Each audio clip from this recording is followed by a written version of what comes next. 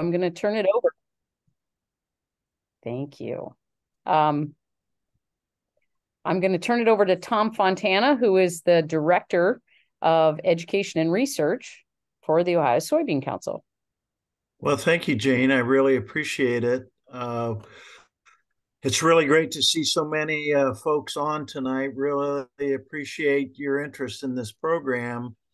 Uh, the Science Fair program, supported by the Ohio Soybean Council and the Ohio Soybean Council Foundation, oh, has been around mm, for about 15 years now. And we're really proud uh, to be able to provide awards through the foundation uh, to students who do soybean related projects at district and state uh, science fair. Um, it's a really good program. We enjoy doing it. It's fun. I wish it weren't virtual because I always love to see the students at State Science Day. But our folks at Education Projects, uh, as Jane said, um, are in charge of the state science fair for the Ohio Soybean Council and Foundation. We appreciate their work very much on that. Uh, we have lots of good information on Grow Next Gen uh, that could help students uh, and teachers figure out ways to do projects that being in agriculture related and give them a chance to win $100 district prizes and uh, much larger prize, prizes at State Science Day, a thousand, five hundred, and two fifty individual prizes, and a thousand dollar team prize courtesy of Education Projects. So, why are farmers so excited about Science Fair and Grow Next Gen? It's because they want to make connections in the classrooms of Ohio, connect science to agriculture. That's very important to them. It's a good way to teach science. There are lots of good information, curriculum, and other things uh, curriculum, workshops for teachers, e learning courses, career videos for students and teachers on the Grow Next Gen website. So I encourage you to go there and use those resources and participate. And we look to have a lot of students uh, for our judges to judge next year uh, at district and state and state science fair. So thanks for attending tonight. We appreciate it. Uh, have a good evening and enjoy all the good information you're going to hear. Thanks very much. Thank you, Tom. Um, we um, we are sorry going to move uh, along here fairly quickly. Um, but a couple of things, just kind of housekeeping wise, there are a lot of things that um, we'll be talking about tonight. And so I want to um, remind you that if you have questions, please type them in the chat. I'm going to try and monitor the chat. And so we'll try and get everybody's questions answered. If I skip your question, please resubmit it. I apologize.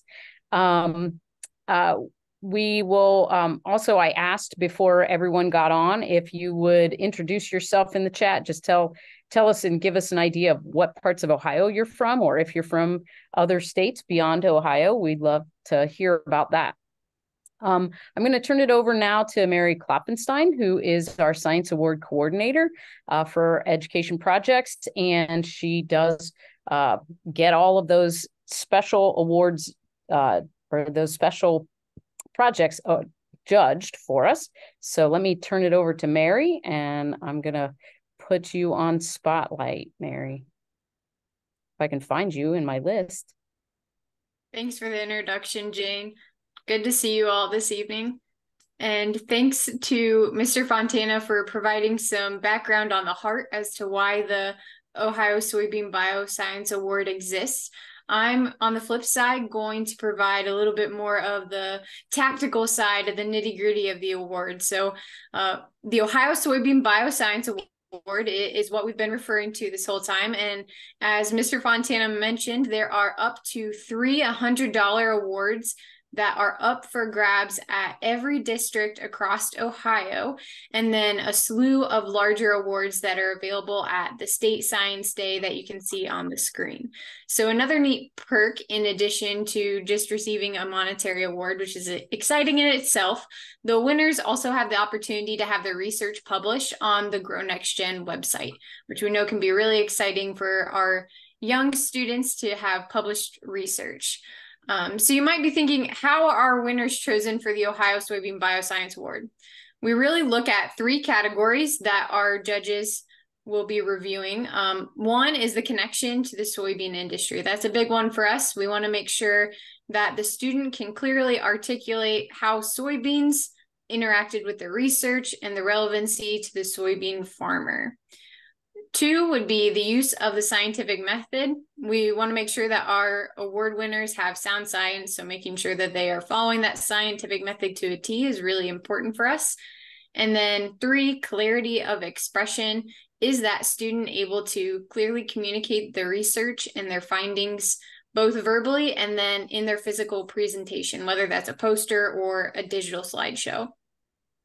So, a few tips and tricks that we've noticed over the past few years of that really make a project stand out would be one, incorporating soybeans as the main component of the research. We found when students have soybeans as the main component, they tend to shine above others. If your student isn't sure how to get soybeans or, or where to get them, please reach out to Jane. She will be able to connect you with soybeans also the clearer that student can make the connection to the soybean industry for our judges it just makes it that much easier for our judges to give them more points. So even something as simple as putting soybeans whether it's the common name or the scientific name up in the research title that can be really helpful because then it's just that much easier for our judges to say ha this student definitely has a research project about soybeans and then they just need to uh, check in on the other two categories to award that student points so they will hopefully be a winner. Uh, the second tip that makes projects stand out is when a student is prepared to clearly articulate why a soybean farmer would really value the research that they did. Um, so, prompting a student to think ahead of time about how their research might be beneficial to soybean production or how their research might in, better inform on how soy-based products may help the environment or improve food nutrition and animal health, etc. Being prepared ahead of time to to make those connections will really help a student do well uh, with the Ohio Bioscience Award. So that is how a student can do well. Now you might be wondering, how do I get a student involved if they don't necessarily have a, a, strong background in soybeans? No problem. We have a lot of curated resources that you can find through this QR code that you'll see on the screen. It leads to the link that you see immediately underneath. So grownextgen.org backslash science fair. On that web page, you'll find an overview of the award. So all the information I just shared and some You'll find the exact rubric that our judges follow when they are evaluating your student's research project. There is a host of relevant questions for your student to consider to start to think through what might they be interested in that also has relevancy to a soybean farmer, along with a ton of links where that student can learn more about soybeans and its byproducts. There's also student research that can be found through that website. And once your student dives into a project, um, if they get to a point that they want to consult a professional, um, they can actually reach out to Jane or they can reach out to me too, and I'll redirect them to Jane. Uh, she is the keeper of the knowledge. Uh, but Grow Next Gen has a slew of industry professionals that they're connected with. So, uh, the anything from a farmer, a researcher, an educator, and we will do what we can to connect your student to an industry professional if they are interested. So, lots of resources that are readily available through that QR code on the screen. Um, and then the last note that I would just share is to make sure if your student is interested in being considered for the Ohio Bioscience Award, just to make sure when they're doing that registration for District Science Fair, um, I, I don't know what that application form looks like, but I know there should be a spot for them to opt into wanting to be considered for that award. That's a really important piece that we found sometimes gets overlooked. So just make sure if a student does does apply for the award that they indicate so on their application form. Anything else you'd like me to touch on, Jane? Oh, I think that was very complete. And if anybody has any questions, please put those in the chat. And when we um, follow up after the webinar, we will also send out this link again. So you don't have to save it on your phone or keep it. We'll, we'll share it with you again. All right. Uh, next up is Angie McMurray from, uh, she's the Director of Programs at the Ohio Academy of Science. And so I'm going to let you share your screen, Angie, and then I can spotlight you so we can hear all about what's going on with the Ohio Academy. Great, Jane. Thank you. And thank you to everyone um, at the Ohio Soybean Council, Grow Next Gen, and education programs. Um, we're just thrilled to have you all as a, a partner, a collaborator, a sponsor, and a friend. Um, I did want to, I would be, I would be lost if I didn't mention. Um, I wanted to make sure I clear up some things um, that Tom did mention at the beginning, and not not all of this is is virtual. So um, you know, the going through the process, um, we have our amazing platform that I'm going to share with you all, but um, we there's opportunities to have local uh, events, symposiums competitions, whatever that might look like for you. I've seen it in so many different ways across the state of Ohio. Um, so at the local level, and that could be within your own classroom, that could be within your school district or your school building or your county. So lots of different ways to have that local in-person event. And it's a great way to touch on on that presentation piece. And I'm so glad that Mary talked about that because um, it's one of the reasons why I've really highlighted and focused on that presentation component on the project board platform um, because we do know that in this day and age, students um, can graduate and go get jobs or even apply for college or whatever through a virtual platform. So we need to help them to learn the skills that they're going to need to master so that they can be successful after high school. And um, so I did want to say that our district science days, all 17 of them, are in person. And so those are hosted generously by our higher education partners. And so those are also in person events and great ways for students to interact with judges um, and local community people right then and there, face to face.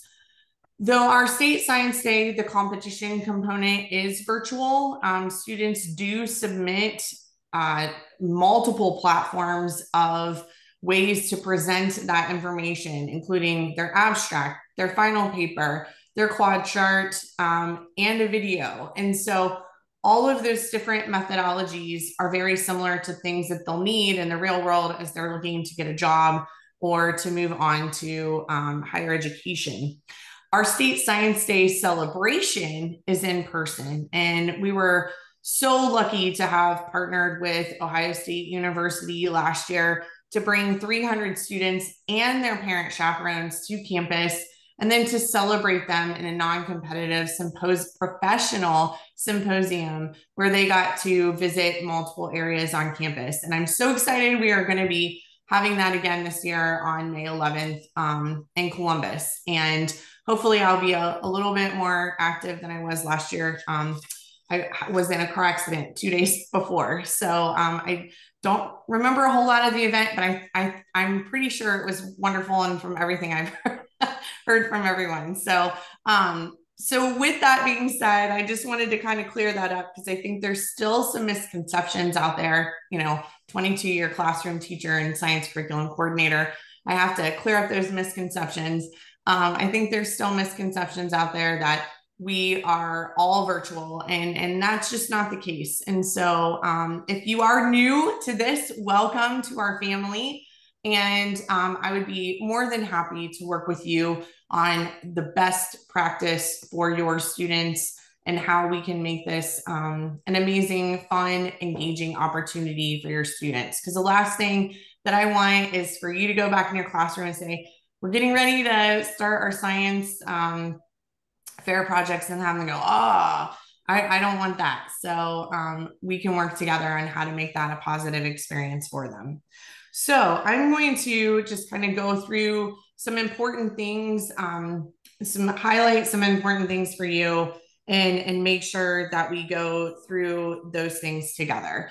So some really important um, dates to know. I've been posting a, a timeline all summer on our social media and we've been sending it out. So our September 5th um, project board, we call say project board 2.0, um, account activation and reactivation has opened back up. It's the same site as last year. I'm going to show you, we've got some new things going on. Um, I got an email today from a teacher that, that said, I'm trying to reactivate my account and it's asking me to answer student questions. And what we found very quickly was that she was registered as both a teacher and a student. And so, um, you know, those, if, if that had happened last year, those are just really quick troubleshooting things that we can take care of this year um, to make sure that you don't have those frustrations as you're reactivating your account from last year. Um, new this year, and definitely to take note, um, this was a request from our Junior Academy Council and also from some other partners is that the, the turnover to get things ready as far as judges and sponsors, food, the venue itself at our district science day seems to be um, really tight. And so for them to have just kind of a basic idea of participation numbers what we have asked is that by December 15th, 2023, that each student um, and it, because they can they can participate as an independent student they don't have to have uh, a teacher connection. So each student has created and activated or reactivated um, their project board account by december 15th that does not mean that that does not mean and it's being recorded and this can go out and so i'm to i'm to say it really clearly. This does not mean that their project has to be finished what it means is that they need to have created an account it's kind of like i'm going to apply to miami university and i'm going to go ahead and create and activate my account for miami university and i can then work on my application after my account is activated. And so, again, these are the types of skills, and I can say all this because I have a son that's starting to work on college applications and all the things. He has to have accounts created um, before he can begin work on uh, his application and, and things like that. So, these are all skills that we are trying to help students learn and gain through this process that will help them be successful out there in the real world um, for things that are here now and things that we don't know what they're going to be like in five or 10 years. Um, on December 16th, then the competition submission will open. That does not mean, again, that they have to have their projects finished by December 16th. That simply means for those that are finished, and I can tell you that there are quite a few um, across the state of Ohio whose science fair projects are finished by December 16th that they don't have to wait until January or February to submit their projects for the district science day competition. They can go ahead and start doing more of a rolling submission for the district science day competition. Um, on January 31st, our Buckeye Science and Engineering Fair, also known as BSEF, that window will close um, so that we can prepare for that event, which will be held in person this year at CAS in Columbus. We're so excited about that. Um, big announcement coming in November about ISEF and the Ohio Academy of Science that you definitely don't want to miss. Um, on February 26th, 2024, the District Science Day opportunity to sub- for students to submit their projects for a district science day in one of the 18 in the state of Ohio, it will close on uh, February 26th. We will not accept late submissions this year. It was very, uh, that's one of the reasons why if we have they have their account activated, we know that they have a potential to submit a project for competition. In March 2024, the district science days will occur across the state of Ohio, and we are just uh, finishing up making sure that we have all the dates for that. None will be held the last week in March, as that is the Easter holiday. And we have told um, our institutions of higher education that they cannot hold a district science day on, I think it's March 30th, the last uh, Saturday in March. So they'll be start March 2nd and kind of go from there. Um, throughout the month of April, we will have we will have State Science Day. The competition will be virtual, and but the celebration will be at the Ohio State University on Saturday, May 11th again. So um, just some some key dates to uh, familiarize with, and we keep we'll continue to email and post on this um, as uh, the the year progresses. So again, we um, spent, we actually dug in deep for about three days, and we've been working all summer to adjust and readjust based off of student and teacher feedback from Project Board. And um, again, I, I know that with any learning, new learning platform, there's always a learning curve, but I really believe in, in this um, program. And I think that when people really take a deep dive and they they see all that it can offer um, they they they see that too. So some things to note um, we have a new landing page to streamline things. We've updated some registration. There are two separate templates for science day. So again mary talked about following the scientific method and we've actually divided that out this year into more those projects that are hypothesis based and those projects that follow an engineering design model. Um, doesn't mean that you can't have an engineering design project uh, that falls in for Soybean Council. We, for ease of student use of the templates, we've divided those out. And then there will also be two separate templates this year, one for the student makerspace and then one for project submission. And I'll show you what that looks like in just a second. We have lots of updated resources and we have an amazing help and FAQ tab that we've worked on. So hopefully um, teachers and students and parents and facilitators will be able to find answers to the questions that they have um, pretty quickly uh, while they're working through the process if they have them. So we're going to take just a, a quick walk through Project Board and um, this is not going to be like a, a big thing, just showing and some highlighting. So again, um, same uh, website as last year, projectboard.world forward slash OAS, not to be confused with Project Board, um, their own, you know, makerspace and, and website. So as you can see, we have a new landing page. Um, and so things are definitely streamlined here. And so, um, if you are, whether you're new or whether you are um, reactivating your account, we right now to keep it nice and streamlined, it's either student portal portal for students or in grades five through 12 or teachers or um, whoever their facilitator might be. And then we we do have a new, I like to call it halftime video that was produced over the summer. We would love to share that um, with you and and take a look.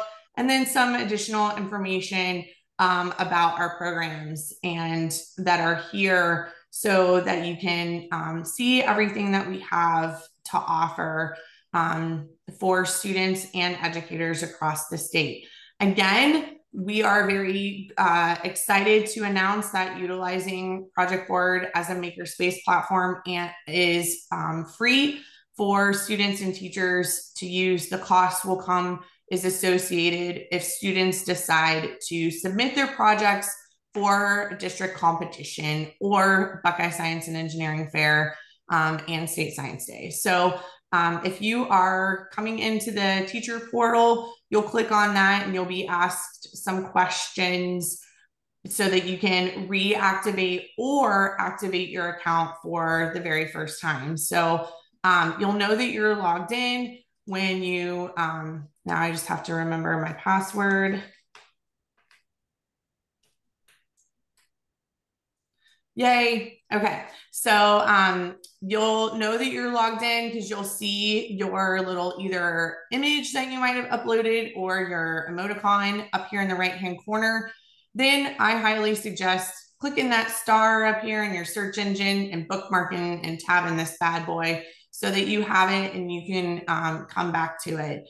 And so it'll ask you some questions and some things that will help you walk through. So I want to show things at the top.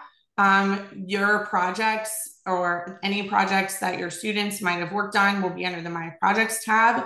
We our new STEM entrepreneurship program is being relaunched. It's called Ohio STEP. Uh, stands for Science Technology Entrepreneurial Program. Check that out if you're interested. Science Day, we'd love for you to still see those uh, district and state Science Day projects from last year. It's a great opportunity for students to go look at peer and near peer projects to get ideas. Um, so definitely utilize that. Our Buckeye Science and Engineering projects from last year, and then our help button um, that is here to provide an FAQ and to contact immediately with Project Board um, for help. So I, I do want to show you um, how we've divided these templates out. And it's been kind of cool today to see people going back in and, and getting started uh, right away. So, um, so what you'll act when they go in, what you'll actually see is either the hypothesis based project um, maker, this is the maker space. This is not for project submission. None, nothing here other than where these two locks are will be submitted for anything. So um, I do want to let you know about something new that is required, and this is beyond me and the Ohio Academy of Science.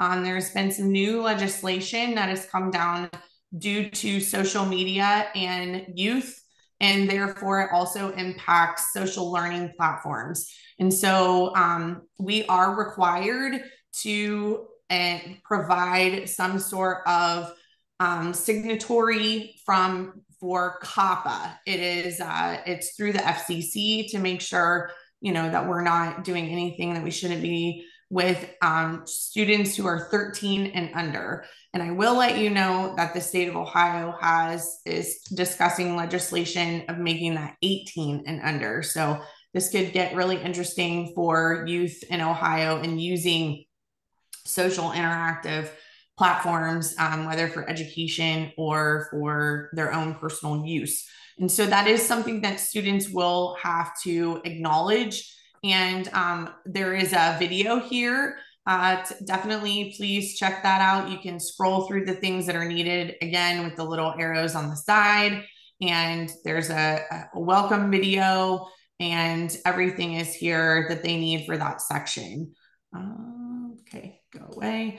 Um, then what we've done this year is that all of the instructions or kind of the, the prompts or to help through that process are at the top. That is a read only section. Students cannot do anything with that, but they can still use this as their makerspace. And so um, all they simply have to do if they want to do that is to click edit section. I'm not going to do a whole lot. This is the, the template that would impact everyone's. But they what they can do is they can add photos or videos that they find when they're doing background research. They can use this as a whiteboard space. They can add links to maybe articles that they found, um, files. Uh, they could ask a question and come back to it, or they can embed something. They can even use delete everything down here, and they can use this to take kind of notes. And and so um, this is we're really hoping that the students can utilize this as their own makerspace. I do have a video here. I don't want you to panic um, because I know that a lot of people, like you said, that none of this would be submitted. So again, just like Mary mentioned, presentation is, of information is so important. So this is a practice video. Um, this is something that's going to be totally different than the video maybe that they submit, or it's the same. But bottom line is, this is going to be a place where they can get feedback from their teachers as well as um, their peers within their class. And so there's lots of new things that we, and then Uh, so this is hypothesis-based engineering design has been design divided out uh, the same as well, but following the engineering design process. So again, if you can think of this as makerspace, um, then it, it makes a little bit more sense.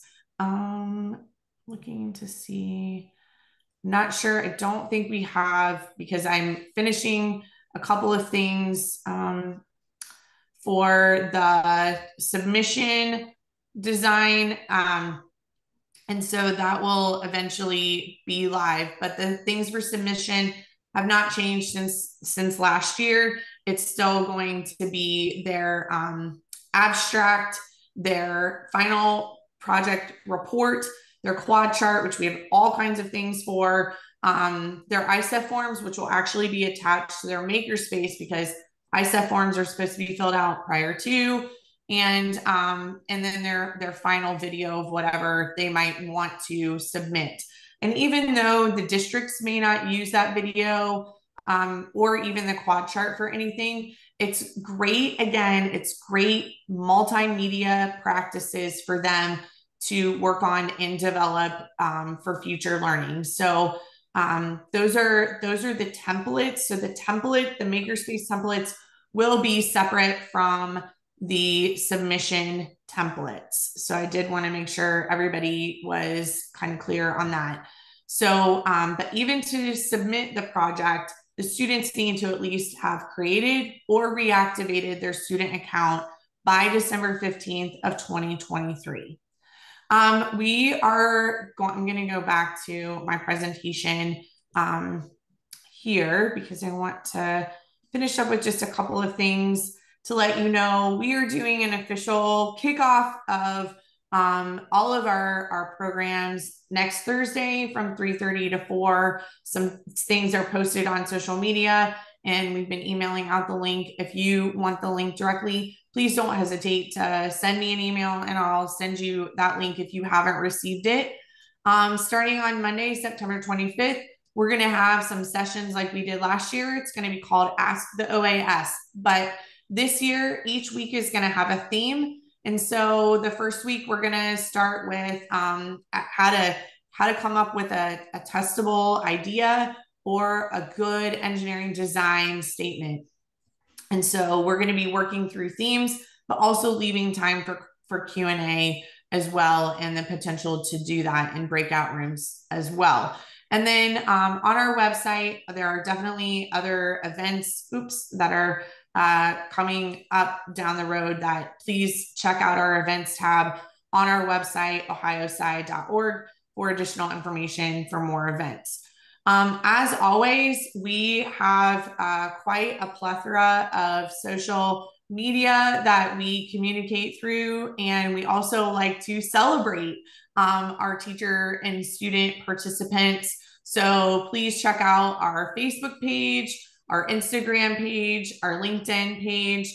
Um, we really aren't doing a whole lot with um, Twitter right now. Um, and and so we are doing more with these accounts and then um, i do want to show you our youtube account um, i have spent quite a bit of time cleaning up cleaning it up and um, redoing it and so for educators and advisors if you go to our ohio academy of science youtube account i have some you can see they're very short videos to help you with um, re uh, activating your account or creating your project board account for the first time. And then I also have um, a series for students. We are going to be recording the Ask Us Ask the OAS. Those will show up here as well. And so um, and so please definitely, and if there's things that come up for educators and then for students, those will be here. So please make sure you check out our, our YouTube page. Um, and so those are just quick snippets. We're going to keep them really short this year and in chunks so that students and um, their educators and advisors can access them again very quickly and specific for that topic. So, with that being said, um, I definitely, you know, am open to any kind of question and answer. And here's my contact information. Um, a McMurray. I don't have an A in my last name. Um, I did get an email today. Someone was really frustrated that I didn't have an A in my last name. They had typed it that way. I blame that on my husband. That's my husband's fault. So, um, but yeah, so A McMurray at ohiosci.org. And um, that's our office number they we are we are open um, monday through friday from 9 to 5 if you have questions but don't hesitate to reach out i do want to tell you that um, casey harris and sheila kubik are back again as my amazing stem advocates and they can help through um, the process. We're kind of all working as a team this year and they're doing some things with our after school grants. So, um, but they are available um, as well as our amazing staff, Dory, Allie, and our amazing executive director, Mike Wojtek, in the main office. So don't hesitate to reach out. Let us know what we can do to inspire and support you and your students through this amazing opportunity. Um, just like Mary said, I know she, you know, she talked about having, um, you know, the connection to the professionals. Well, what we're trying to do is build that next generation of professionals into the pipeline. And so, what we have found is that when students are applying to college or jobs, having done that authentic research and sharing it out so many times over and over and over again, and also being able to showcase it on something like Project Board because their projects are archivable forever and ever. But click of a link, they can share that through any social media um, platform that they that they choose to, and even on an application for a job or college, um, has been very powerful for our students. And we've heard testimony from them that um, being able to share that project has been very helpful for that real world application. So I will stop sharing now and turn it back over to Jane. Well, we do have a couple questions. Oh, okay. What do we got? Um, first off is fees. There are a couple questions. Uh, people are interested to know what are the fees for district and then sure. what would be the fees if they qualify for the state. Yes. So um, we have actually worked with our Junior Academy Council this year to streamline our fees. Our fees for the district science days are $30 and um, that is all all districts this year across the entire state is um, $30 and so that money goes to that is for that um, institution of higher education host um, what you know they could use it for other awards because we do have other awards and um, and scholarships and things like that that they might give out or food and, and things like that, um, it covers their costs um, to host that event. So $30 um, across the board. Yeah. And then there's a question oh, about Space Science Day is, is $60. 60. Okay. Mm-hmm. Just like it has been for like ever. okay. Um, there was a question about if you register with your email, does the student have to have a special email? Can they use their district email to register? Great question. So, one of the things that we've been working with Project Board is we actually sent out an, an email to every every school in the state of Ohio, encouraging um, their superintendents and principals to um, help us whitelist their uh, dish, help us whitelist projectboard.world forward slash OAS and the Ohio Academy of Science. Because once we're whitelisted, then there isn't an issue with um, using those school email accounts. So um, that information actually went out uh, today in an email to all of our partners. Um, I highly, it's like really well written out. And so, um, and it all you have to do is really just either email it yourself or hand it to your district tech coordinator. And all they have to do is whitelist um, those uh, addresses, and they can use any email that that they choose. Um, okay, so a couple of other questions came in. Uh, it is thirty dollars per project at district and sixty dollars per project for state, right? I mean, Um, it is, student. it is, my understanding is that is thirty dollars per participant. Right, okay, Mhm, makes sense.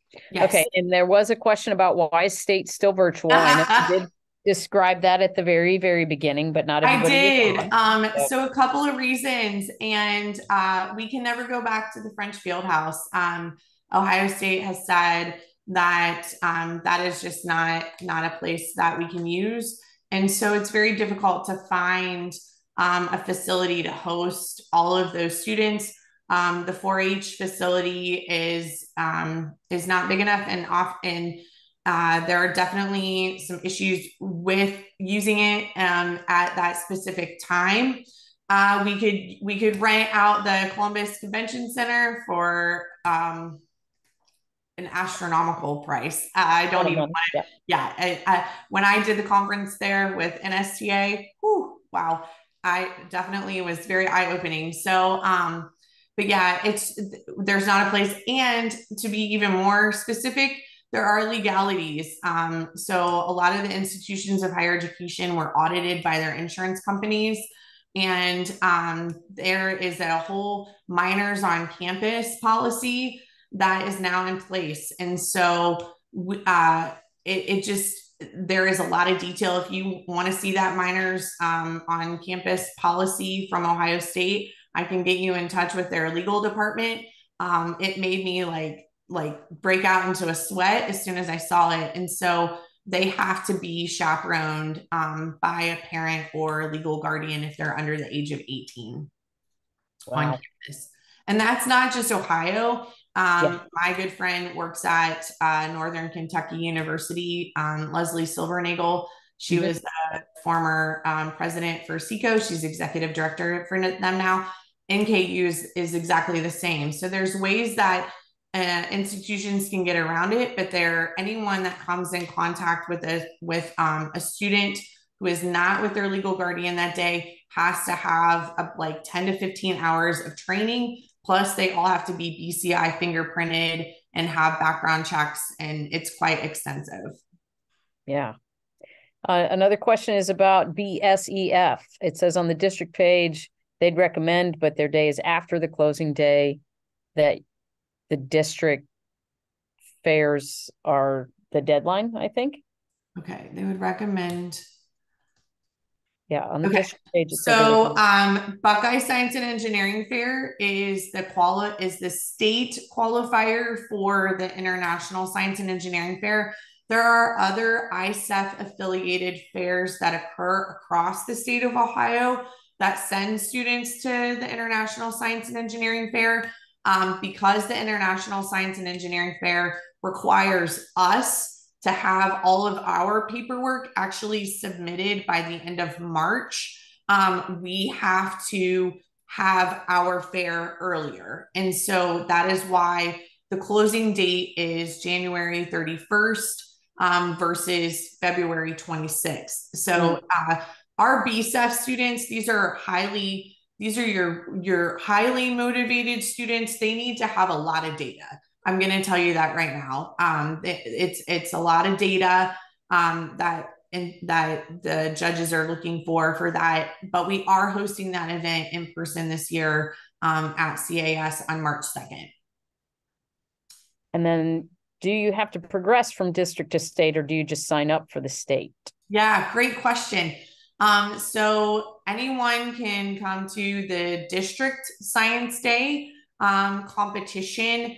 I highly encourage students to have their projects be vetted uh, by their educator, mentor, parent, facilitator um, prior to signing up for district science day, so that um, so that there's not you know disappointment on that day. So definitely having the project vetted Usually, that vetting again can occur from the teacher themselves or by some sort of local um, look, whether that's within the classroom, um, the school building, the school district, the county, etc. We do not require anymore for a student to have participated in an official uh, local science day to qualify for district.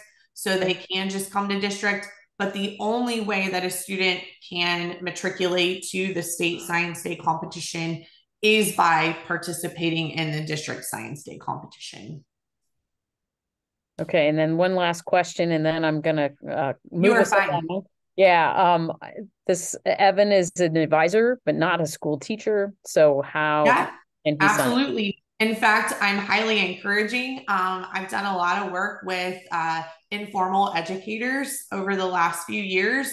And so um, you can sign up as an informal educator. So, Evan, um, if you uh, want to contact me um, uh, tomorrow, um, we can, I can show you how to get that started. But you would still click on I'm a teacher. Okay. Thank you so much, Thank you. Angie. Appreciate you being here. And if you don't mind, would we be able to either share your your deck? Yes, I'm going to send it to you. You can send Perfect, it and then we'll send send it out out and our wide. follow-up. Okay, perfect. Thank you, thank you, thank you. You're welcome. All right. So we're going to move on to our um, first teacher leader. Uh, just an explanation that our teacher leaders have um, actually volunteered to help us out in lots of different ways. And one of the ways is to help us with these kinds of webinars. So we are really appreciative of both Donna Meller and Donna Parker. And that, uh, you know, makes it a little easier. We have two Donnas to talk tonight. Um, but I'm going to go ahead and uh, spotlight Donna Meller. Donna Meller is the teacher uh, teacher from uh, Pettisville High School, and she teaches many different areas of science because it's a fairly small rural school. Am I correct? Yes, very. so thanks for being here. And Thank you. Um, I enjoy, um, well, I've done science fair a long time, and my first exposure to science fair was actually participating myself as a junior high student through Ohio Academy of Science District Science Day. So, anyways, um, have had lots of experiences um, with students, and you're always growing in your knowledge. Uh, it's always one of those situations where there even today a conversation with a student i'm like i don't know i guess we'll just have to figure this out together and um, that's part of the the the challenge of it is um, is working with students when you don't know what direction you know the you know the projects are going to take and that i currently have a research class um, that i work with students and most of my students are um, working on um, projects uh, connected with um, their A- SAE um, to FFA. If, years back, I used to have like all my eighth graders or all my biology students um, do projects in that. And um, I still encourage as many students as I can to plug in and participate, whether or not they're in my research class. Um, I do know that the best time to hook the kids is actually at the middle school level um they don't have as much going on in their lives um but i did last year was kind of a rebuilding year for me um just because of some things that happened with scheduling i didn't have my research class i have it back this year um and i had always thought you know with as busy as the high school students are um it's really challenging to get them plugged in and and work on things. But um, I had um, an experience last year with my environmental science um, class where um, we ended up doing individual independent research projects in class um, rather than do a semester exam. And I was pleasantly surprised how engaged they became in it because they were selecting their own um, topics to explore, how they helped each other. Um, and in the end, they had to present a slideshow. Now, I gave them the option if they wanted to go on to another competition, they could. Um, none of them um, jumped on that opportunity. Um, but just the fact that they took a project to completion, it wasn't the full blown project that I would have like one of my research students do um, typically, but but it was a really neat experience to see the curiosity um, of my high school students. And these were not highly academic students. These are your you know average student that were just trying to get that third science credit and that so Um, I guess if I was to give some words of wisdom in terms of, you know, from year to year is keeping it simple or trying to get started, keeping it simple. You can always build. All right. You're always learning and adjusting. Like right now, since I wasn't plugged in last year with students doing um, projects outside of the school, I'm on a learning curve with learning a project board myself too. And that. And um, I will say, I went through the videos myself earlier this week um, that uh, the YouTube videos for teachers, and they did explain a lot. And this was even more helpful um, listening to Angie and that.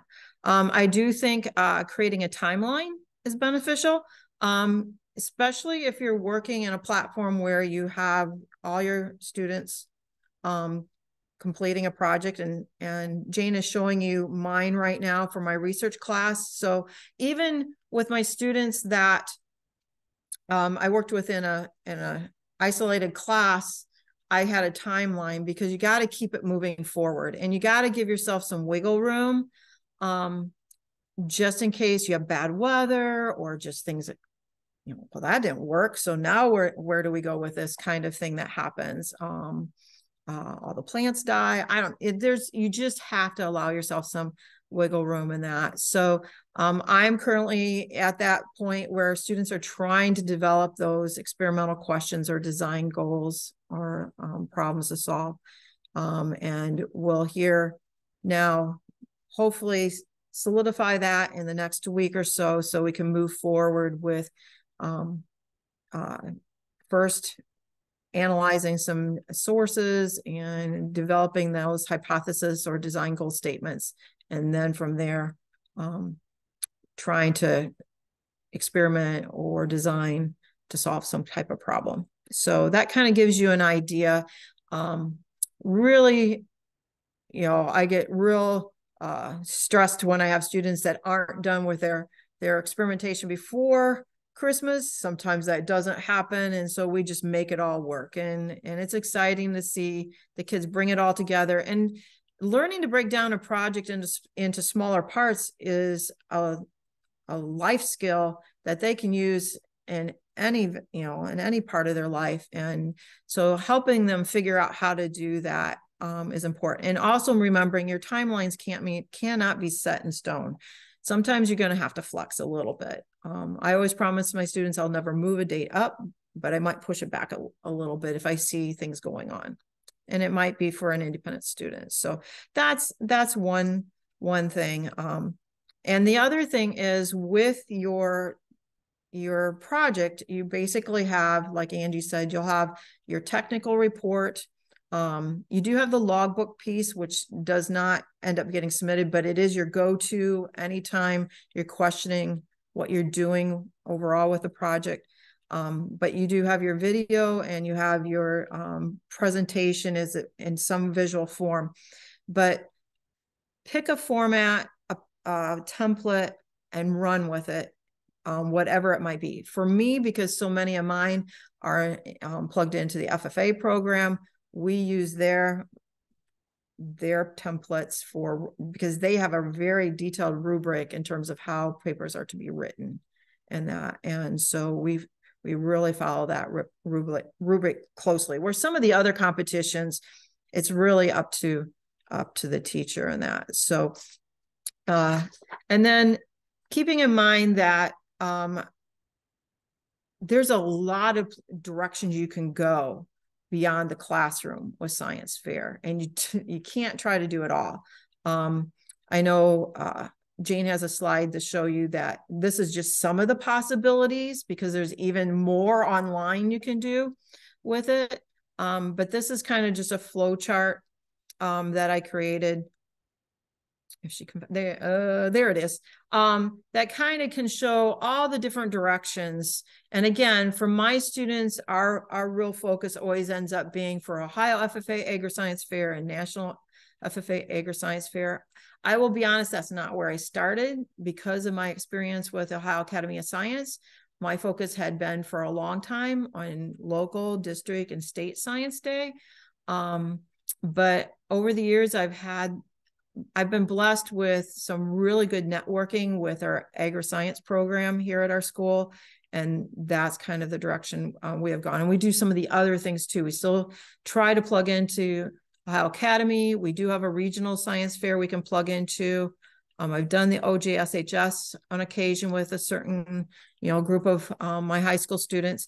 One that I've only done once in a while, but had awesome experience with was the ODNR Wildlife Symposium, just to make a plug for them. That is not a competition. It is just a an opportunity to bring projects that are environmentally related, wildlife related, together um, through the ODNR, and the students can either share in a um, in a formal presentation with like a, a slideshow or with a poster and that. So there's a lot of neat directions you can go. But again, start simple, try to just make it a positive experience for the students so that they have that desire to, you know, do something um, later on. And again, for me, I have my research class. I also offer some open labs and that. Um, you know, I used to also uh, have a STEM club that I worked. So it, you have to do whatever works within your school setting with whatever age group of students you're working with and that. So, but at this point, I guess one of the last things I want to say is the biggest challenge is figuring out the question to explore. And I always start with when they start throwing ideas at me is why is this important? Who cares? What's the point? you know you you have to have some kind of and again that question still even can be asked to that that seventh grade student who's doing a project that has been done many times over but is brand new to them they need to understand the value of why you know not just going through the motions of of it but why is there value to learning this and that too um and i guess lastly um paperwork that ISEF paperwork can be it can be challenging.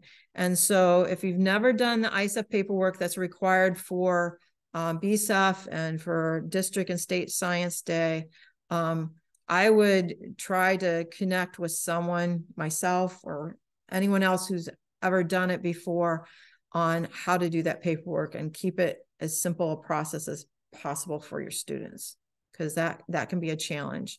And then find yourself a cheerleader all right? Some mentor someone that you know is helping you move you know move along right along with your students and that. And i have some great you know i have some great stories and experiences through all the years that i traveled in cars and buses with students to various things and that and so it's a great extension of the classroom in terms of um, working with your students and that so um, anyways, I guess.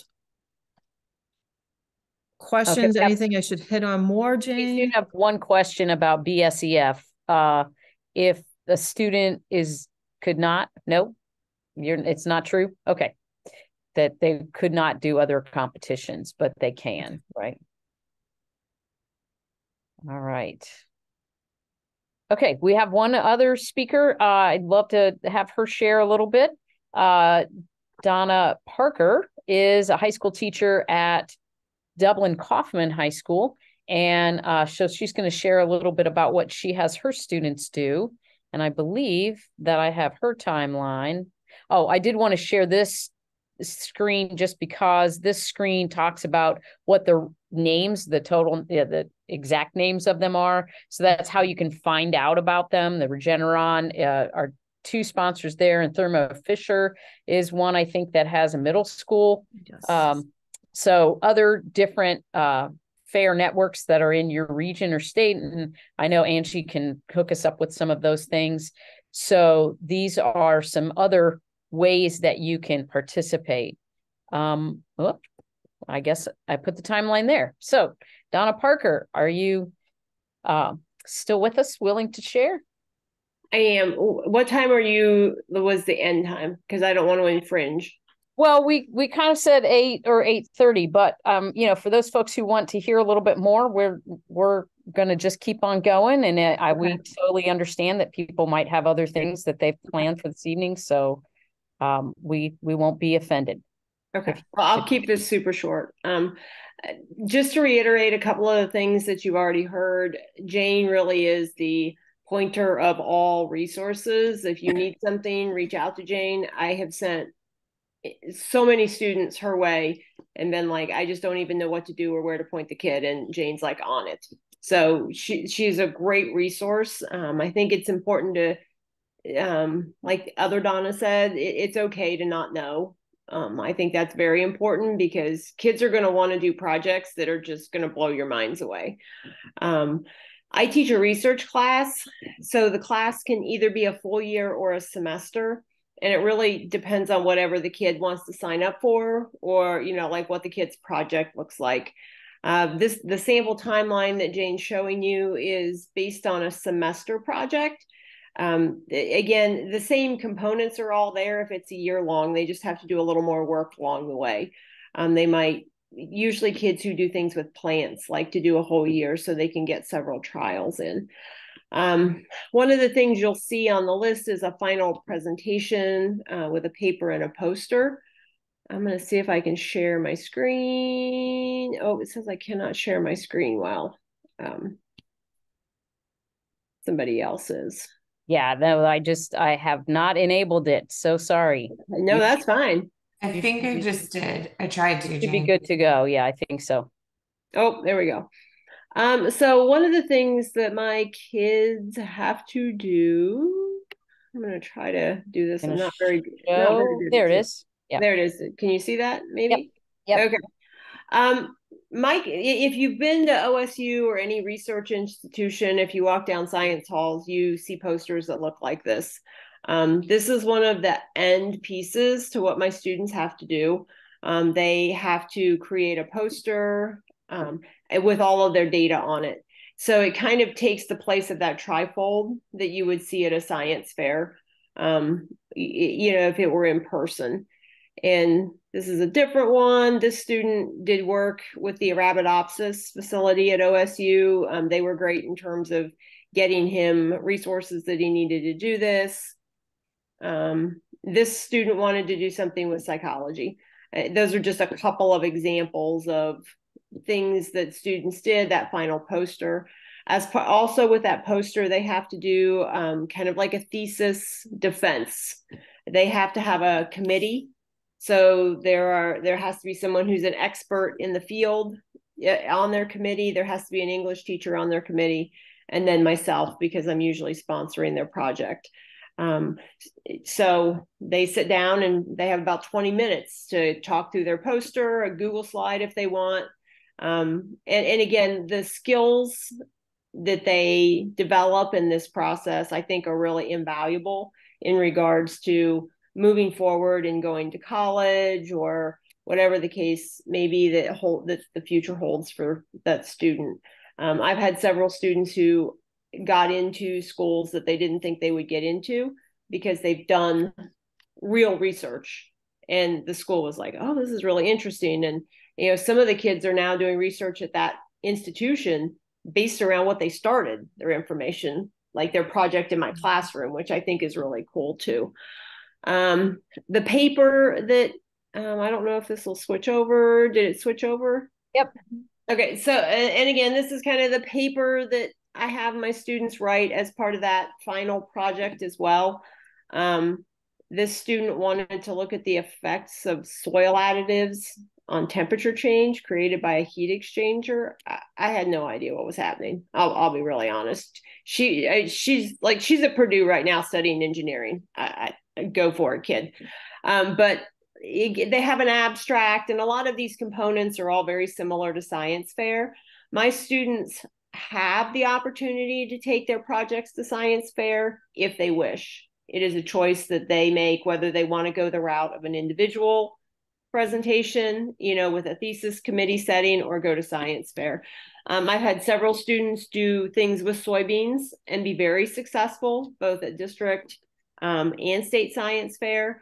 Um, I am convinced that my daughter today is majoring in biochemistry because she did a middle school soybean science fair project and just like could never get off the chem kick. So Um, you know, so you can just kind of see the format of the paper.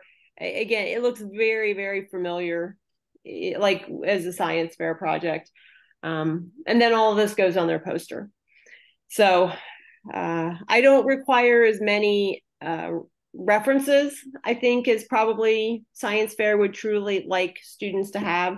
Um, but usually it ends up developing into a little more than five as kids work. Um, so that might be something just to always keep in mind that kids are keeping a good track of their resources. My kids also keep a daily log. I, I do whether I see you every day or or don't see you every day because I have a lot of kids who take this virtually. So I literally only touch base with them um, on Google format. They are required to document what they do every day in regards to their project. And if it is today I did nothing, we write that down. Um, they're also required once a week to talk to their parents about what they've done and questions that they have. Parents have great resources that we don't often realize. I mean, I've had, again, I have kids whose parents work at OSU who have connections that I don't have. So um, by having that conversation, the parent signs off on the log too. The commit the kid either submits it digitally or I check it in class if I see them. Um, so that everyday log is important. And even if it's I wasted all 42 minutes, that's what you did, you have to be accountable for it. So again, just a couple other ideas of things that that might help some people along the way. That's fantastic. Thank you so much. Yeah. I know we have uh, just a few more minutes, but I want to make sure that I thank everyone. Um, I do want to mention too that there are many, many, many sponsored awards that the Ohio Academy of Science mm-hmm. has. They work with many partners, not just the Ohio Soybean Council. One of our other partners is the Ohio, well, it used to be known as the Ohio Oil and Gas Energy Education Program, OOGEEP. Uh, now it's Ohio Natural Energy Institute.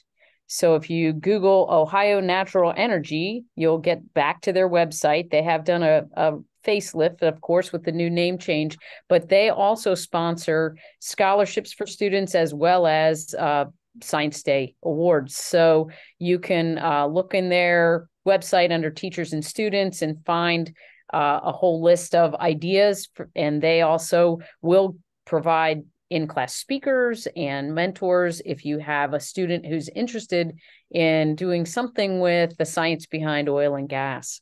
Um, so uh, Ohio's pretty big in that uh, realm as well. You know, agriculture is number one, and I think we're like number four in oil and gas production. So um, it's pretty impressive.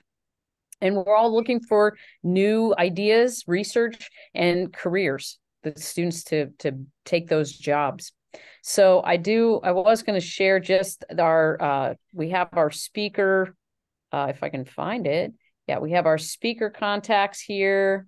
I got to go to the right window. Uh, and then we have, um, I put my contact in the uh, chat. So if you would like to reach out and ask some questions or you're getting stuck, please feel free to contact any of us.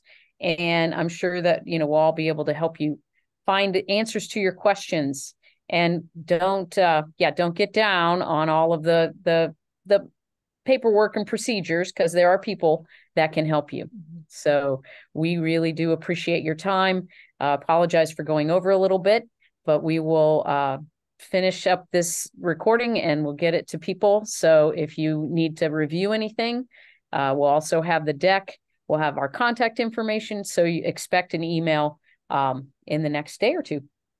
Thank you again for spending time with us. Thank you, Jane. Thank you, everybody.